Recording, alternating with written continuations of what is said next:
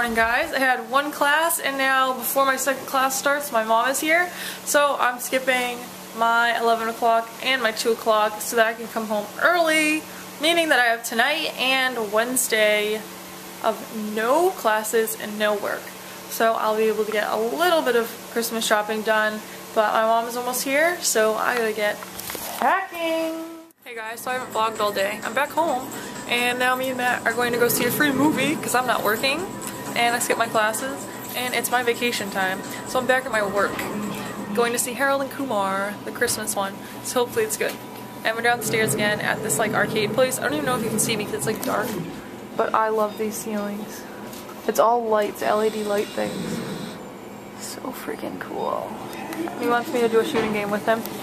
Did accept it? Finally! Hey guys, so I don't know if you can see me, but we're really early for the movies. So we're sitting in the theater. Literally the only ones in the theater. Mm -hmm. Yeah, you can't see anything. So those are the stairs. And we're in the theater. Something came on the TV. Alright, now to watch the movie, even though it's just gonna be previews.